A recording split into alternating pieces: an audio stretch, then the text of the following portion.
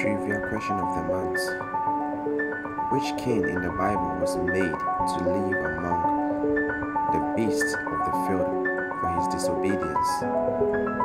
A. King Herod, B. King Hezekiah, C. King Nebuchadnezzar, D.